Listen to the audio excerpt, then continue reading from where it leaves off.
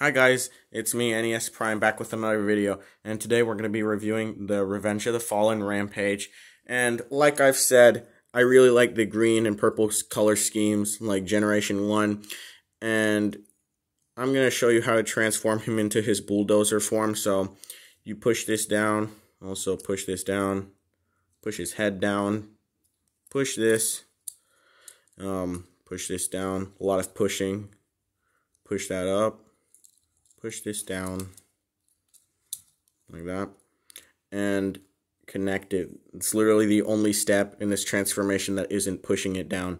But there you go, it's his bulldozer form, and I really like it. I like the idea of construction vehicles being uh, Decepticons, and he looks really cool. Um, he's a great addition. You should add the Constructicons to your collection.